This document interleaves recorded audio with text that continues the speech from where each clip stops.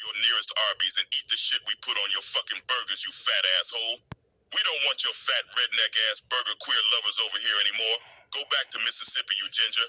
And the burger I shoved up my ass, I shoved two up my ass now, and I liked it even more than last time, bitch. Arby's, we have the meat.